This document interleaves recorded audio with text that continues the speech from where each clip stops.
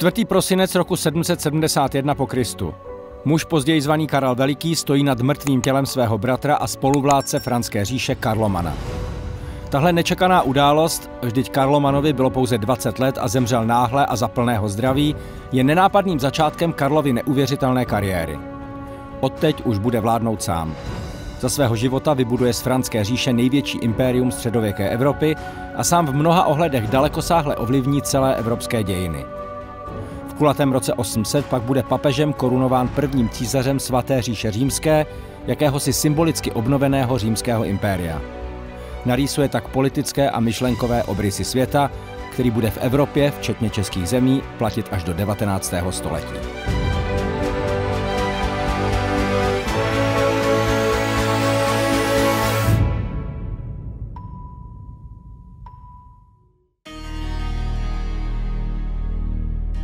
Když se Karel v roce 742 narodil na pomezí dnešního Německa a Belgie, přišel do světa, který už v málo čem připomínal staré dobré pořádky římské říše.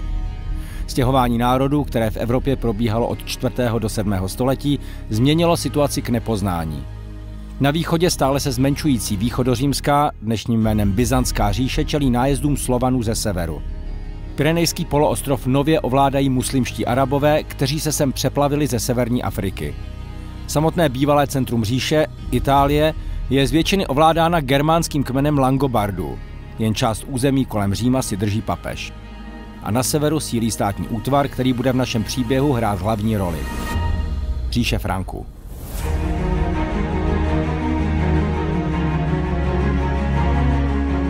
Frankové byli původně germánský kmen barbarů, kteří se však nejlépe zorientovali v době po rozpadu římského impéria.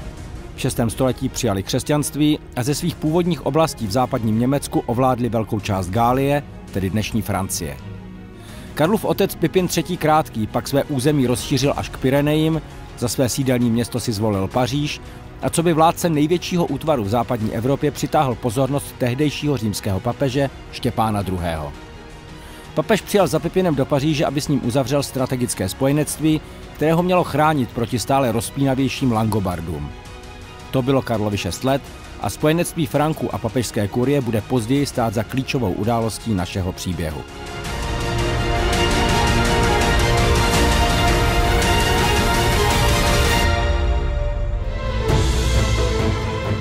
Když je Karlovi 26, jeho otec Pipin umírá.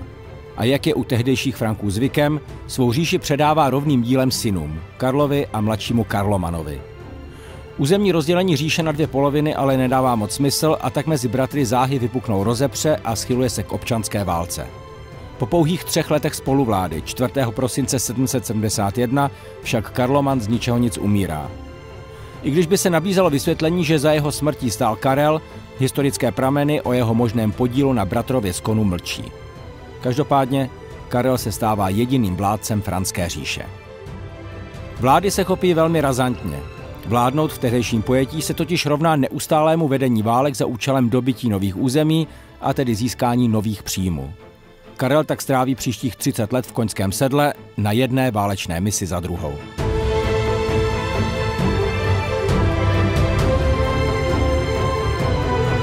Nejvíc času mu zabere dobývání území na severu Německa, kde žijí Sasové. Ti jsou posledním germánským kmenem, který ještě nepřijal křesťanství a vyvrátit jejich modly v čele s posvátným sloupem Irminsulem trvá překvapivě dlouho i ostřílenému franskému vojsku. Karel se ve jménu šíření víry nezastaví před ničím. Irminsul samozřejmě nechá porazit, ale i otrlé souputníky překvapí jeho rozkaz k povraždění 4500 saských zajatců. Odpor se nakonec podaří zlomit až na konci století po opakovaných krvavých misích.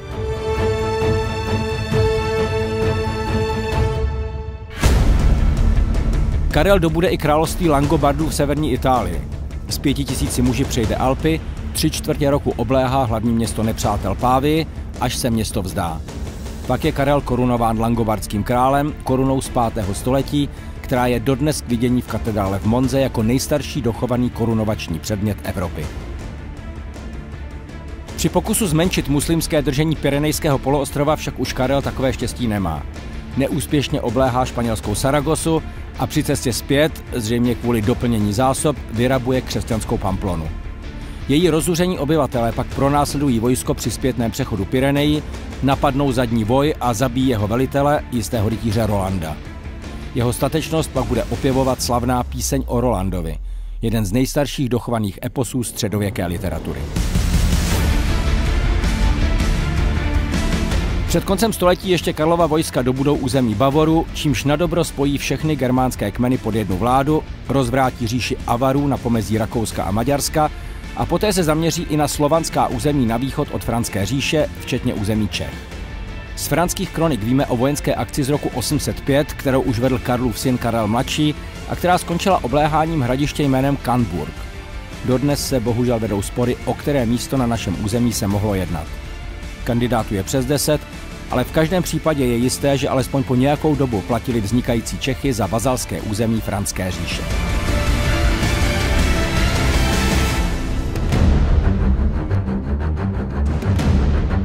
Ale vraťme se o pár roků zpět, do posledních let 8. století. Karlovi už je přes 50 a vytvořil největší říši na evropském kontinentu, sahající od Severního moře až k Římu a Pyrenejím. 30 let strávil na cestách. To všechno s ním museli vytrpět i jeho manželky, které měl postupně čtyři, a všech jeho nejméně 17 dětí, z nichž některé pravda měl s konkubínami. Celý královský dvůr se totiž stěhoval spolu s králem a nikde neměl stále sídelní město, což mělo i praktický důvod. Vyživování armády a dvora bylo nákladné a tak poté, co vyjedl jedno město, stěhoval se Karel do jiného. Ale takhle to nemůže jít věčně. Karel tedy druhou část své vlády zasvětí způsobu, jak si vládu v tak velké říši udržet. Předně vybere si jedno místo, ze kterého bude zemi spravovat. Tím se stanou Cáchy, německy Aachen, na pomezí dnešního Německa a Belgie.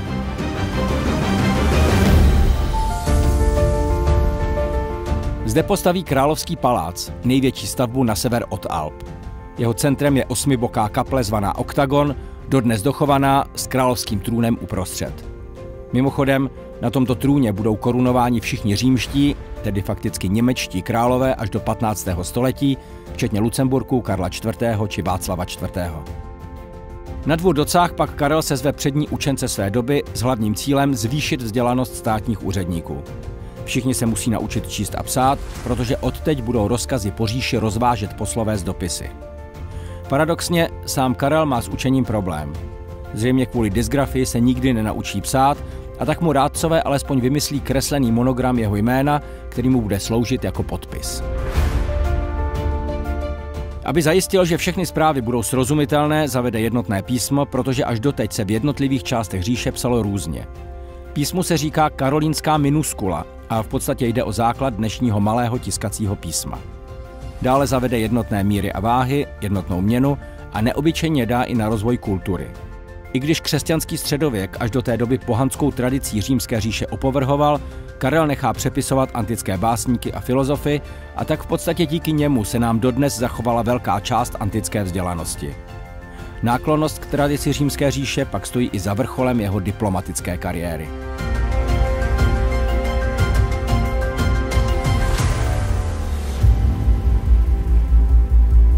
Jak k tomu došlo? V roce 799 se tehdejší papež Lev III. dostal v Římě do problému, byl uvržen do vězení a jen díky útěku si zachránil život. Uprchl na sever přes Alpy ke svým strategickým spojencům Frankům na dvůr Karla Velikého. Ten mu přislíbil pomoc a v následujícím roce ho opravdu instaloval zpátky na papežský stolec. Odměna přišla o vánoční mši 25. prosince roku 800.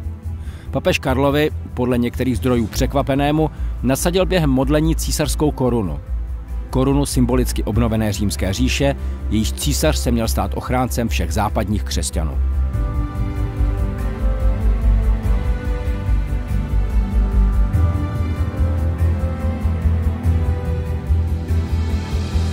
Karlovi tento akt nepřinesl žádné území navíc. Ale postavení císaře svaté říše římské, jak se konfederace přidružených států bude jmenovat, s oficiální korunovací v Římě, centru křesťanského světa, bude nejvyšší prestiží minimálně ve středoevropském prostoru po celých příštích tisíc let. Takovou sílu měla tradice, u jejíhož zrodu stál muž, kterému už za jeho života začali říkat Karel Veliký.